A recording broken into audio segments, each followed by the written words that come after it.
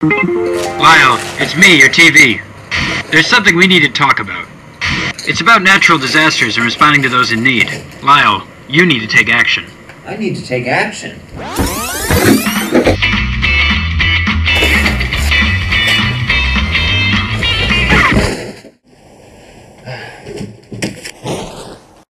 Remember to give cash to respected care organizations. It's easier for you, and better for them.